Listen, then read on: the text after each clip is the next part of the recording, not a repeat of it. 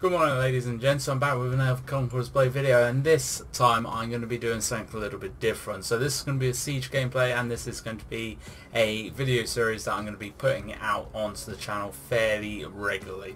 Let me know down in the comments below if you do enjoy this kind of video and you want to see more. So this is going to be a Siege battle with commentary over with like just tips, tricks, opinions, that kind of thing. Let me know if you are enjoying it. Let me know if you want to see more and I will look to put out even more for you of this style of video. I know some people like to just watch a bit of gameplay with a bit of commentary over it and actually a lot of other YouTubers do this kind of video, so this is the kind of thing that I want to be getting into as well. So let me know your thoughts down in the comments below, but let's get straight into it.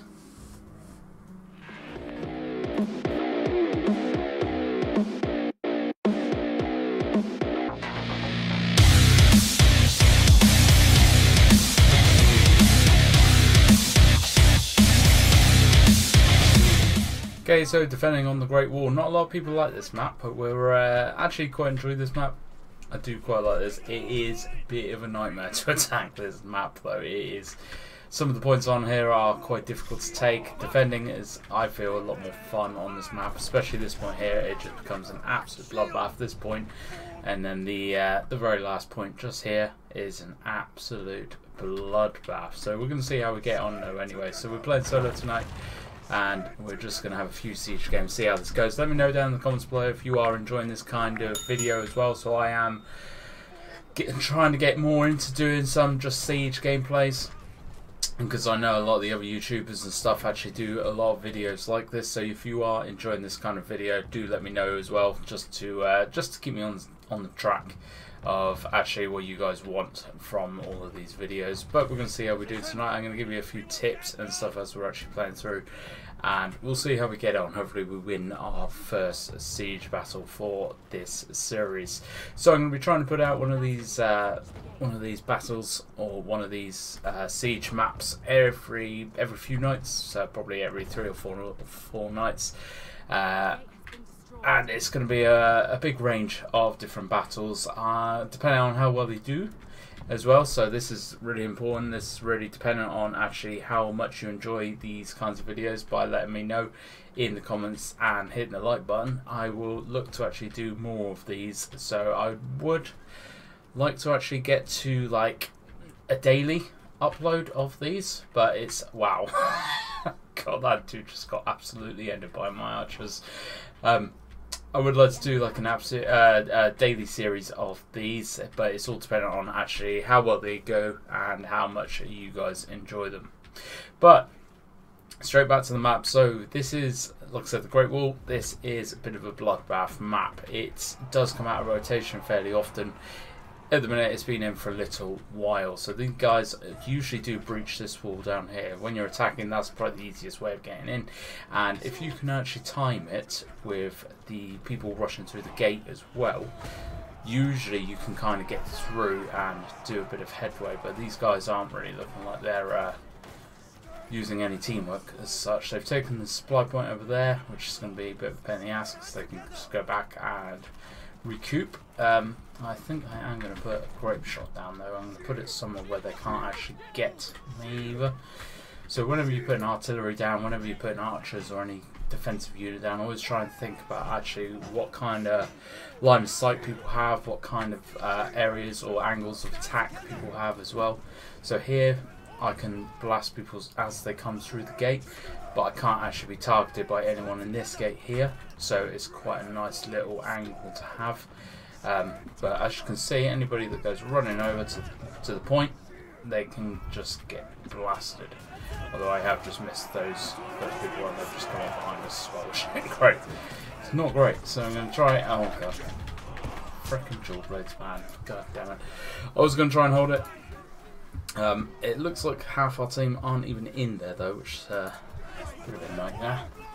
So these guys are, the, the guys and girls that are actually in there at the minute are holding it fairly decent.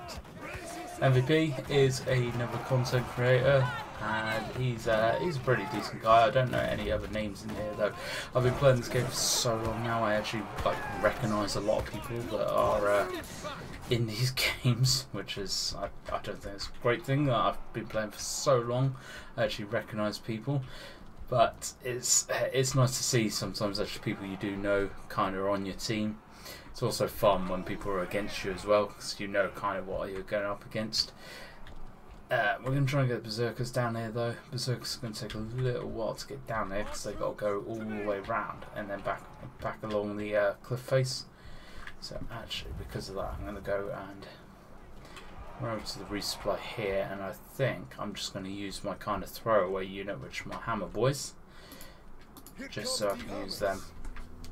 So the reason why I use these guys even in a defensive siege battle, these guys are really good at pushing towers, pushing uh, battering rams and stuff like that, but they also give you the mercenary bonus, which is 10% extra experience, bronze, honor, everything like that. So they're really worthwhile taking, especially these guys. If you are looking at getting a mercenary unit, get these Martellatori because they are by far the uh, the most useful mercenary unit and the cheapest as well. So they're only 30 leadership, which is insane. So you can bring them into like every game and get that bonus, which is really useful. So these guys are starting to really push in now and they're starting to, to make a bit of headway and there is not many of our team left in here now so I think we're just going to have to try and buy a little bit, oh god, try and buy a little bit of time.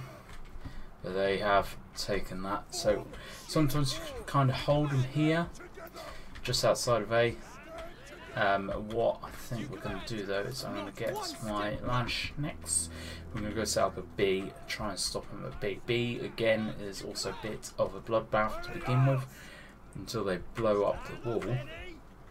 If they manage to blow up the wall, which is just that one, they um, they can then start trapping you and stuff, and it's a right pain in the ass to try and defend it then.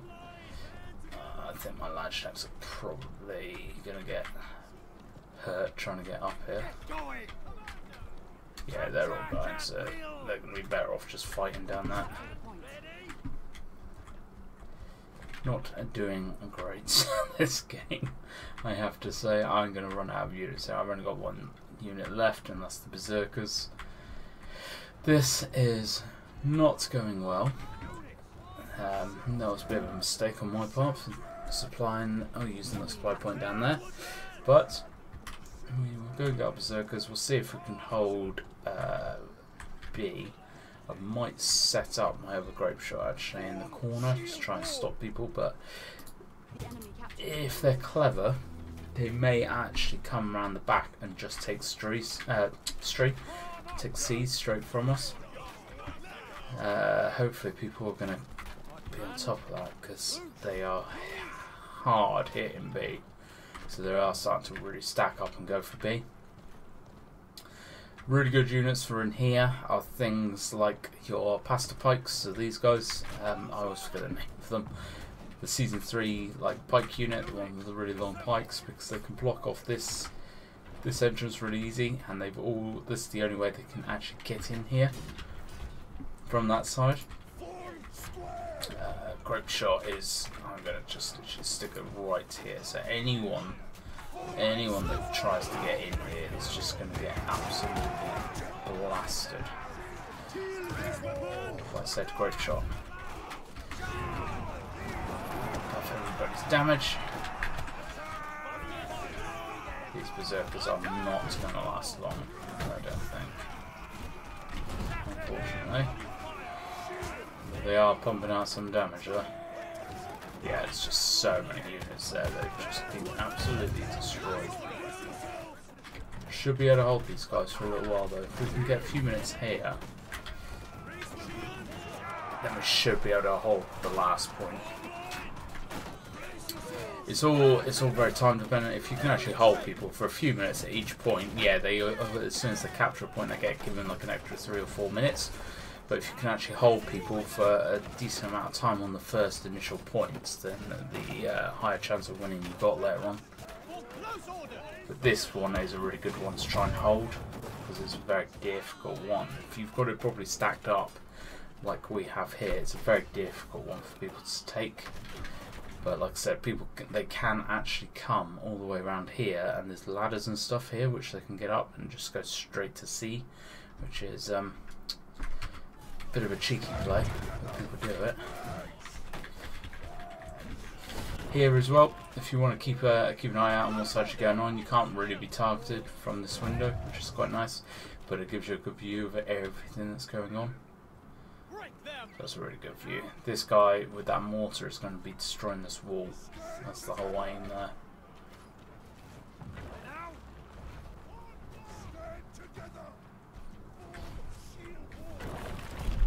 Always going to shoot it through the window.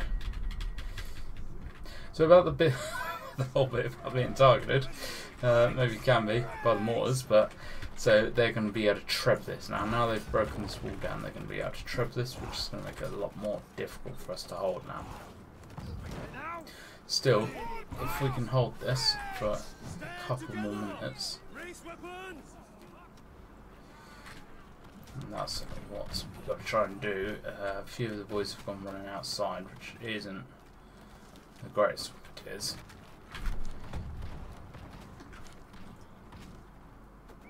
should be okay. We've still got a decent amount of units here. I haven't got any units left. I've run out of units totally, which is uh, a bit sucky. But as you can see, people take the seat.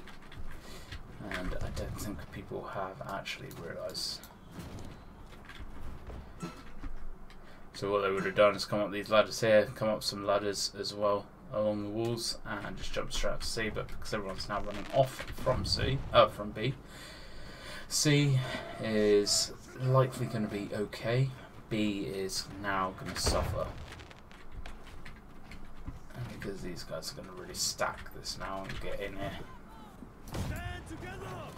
God, I love grape shots. Grape shot cannons do so much damage.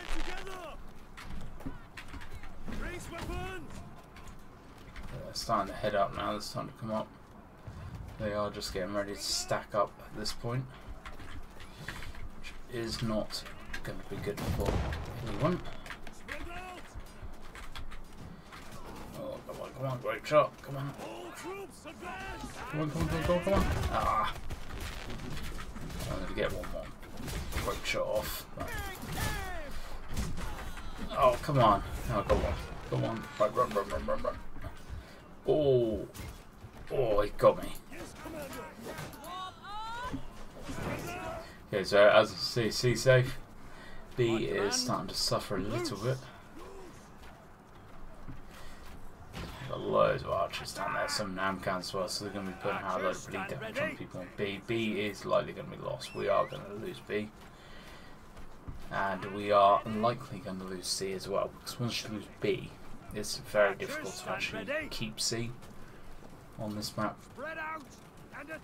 Let's find this this map like nine times out of ten always, always ends up on the last point. Yeah, it's just an absolute bloodbath on that last point.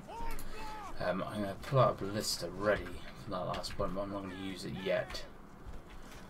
Because it is better used on the last point. Yeah, B is, B is definitely gone.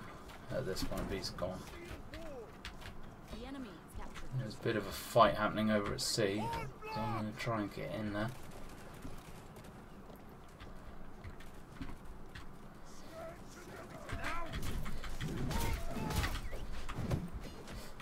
C safe for the minute.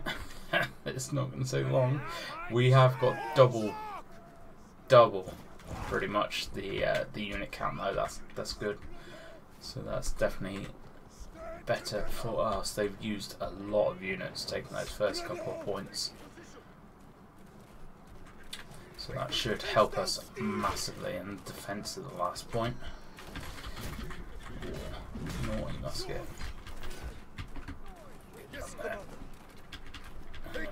buff up these guys with a little bit of damage. But yeah, C is pretty much gone now at this point as well. It's going to be really difficult to actually hold C, although the lads down there are mounting up a bit of a, uh, bit of a decent defence, I have to say. always good there. You can jump around behind them. People don't realise that. Some people don't. Oh, I've been rushed. Oh,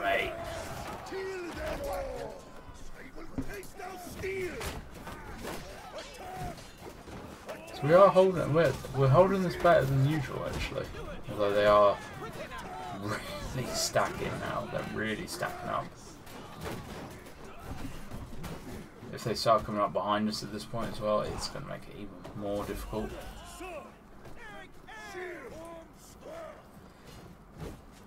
Actually, the team is doing fairly well. The team is actually making sure that they're keeping them back.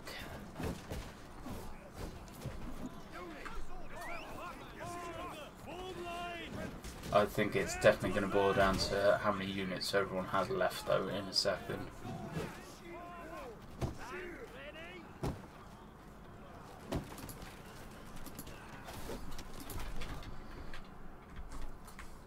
So I'm going to wait until C. I'm going to, if C if C gets taken, then I'm going to set up this ballista in on this point here, which a perfect spot for the ballista is just in this corner, which is a very nice spot for it because you can actually get people even when the wall has has fallen.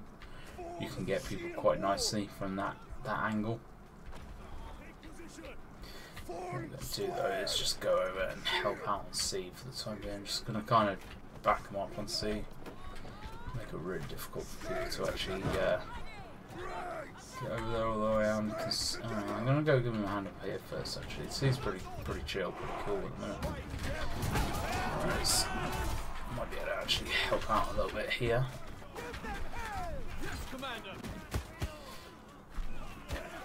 Just try and hold him off a little bit longer.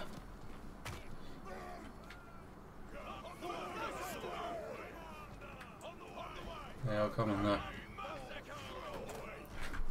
Uh, units.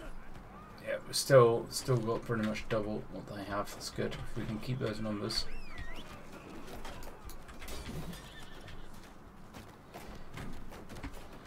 Keep those numbers up. That's good.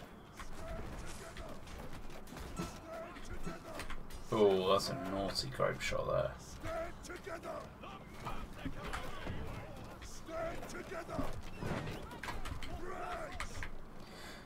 So whoever's paladins they are, oh, they should be rushing them now. If they rushed him, I think they would actually get a couple hit kills possibly.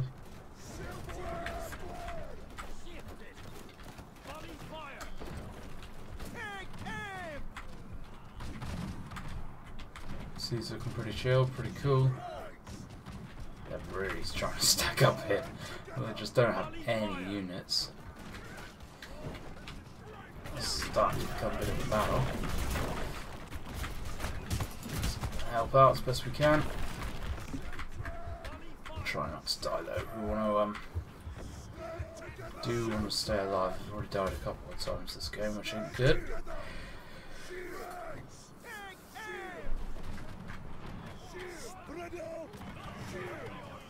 Shame I've already run out of units, and uh, Berserkers right now would be very useful, but they've got a minute, minute and a half left. It's going to take them easily, easily 20 seconds to capture that, the rest of C, so they've got a minute, realistically, to uh, to make some progress. Which, at the, uh, oh, don't want to be going that way, at the minute, great for them. So they're going to do one last ditch effort, I think, in a second. Um, most of the team is dead, which is good to see. Obviously. Two guys are just trying to sneak up on us there, which is a little bit naughty. Come on, come on, come on, kill him, kill him, kill him.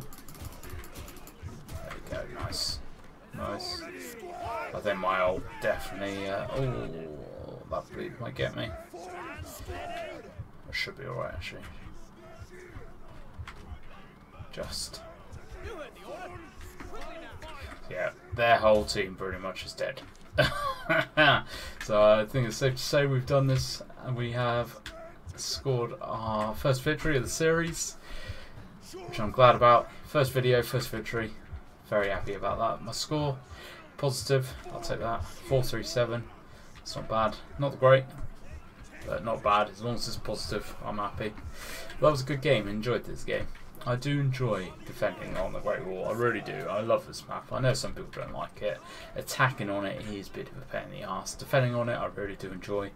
Uh, but I'm going to sign off for there. Thank you very much for watching folks. Hope you've enjoyed this video. If you do enjoy this kind of just literally just gameplay with commentary kind of video, please do let me know down in the comments below and I will look to make a couple each week for the time being and then depending on how well they are enjoyed, I will look to actually push a, uh, a video out every couple of days, if not every day, of just some regular Siege gameplay. Let me know down in the comments if you enjoyed this one. Thank you very much for watching as always folks. Hit that sub button, that like button, share it around, all that lovely fun stuff. And I hope to catch you out on the battlefield.